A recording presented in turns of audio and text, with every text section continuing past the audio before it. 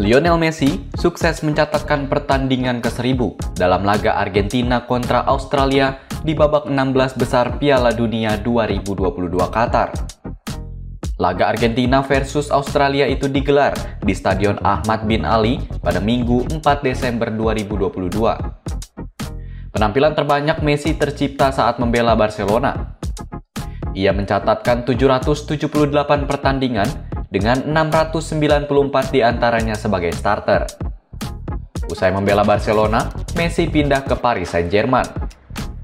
Di klub tersebut, Messi sudah membuat 53 penampilan, Sementara bersama timnas Argentina, pemain yang dijuluki La Pulga itu sudah menorehkan 168 penampilan sejak debutnya pada 17 Agustus 2005.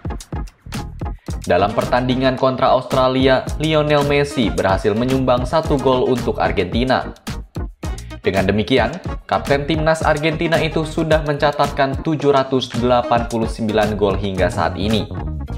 Dalam laga itu, Lionel Messi berhasil mencetak gol sekaligus membuka keunggulan bagi Argentina di menit ke-35. Pertandingan berakhir dengan skor 2-1 untuk kemenangan timnas Argentina. Kemenangan itu membuat Argentina dipastikan lolos ke perempat final dan akan menghadapi Belanda pada Sabtu 10 Desember 2022.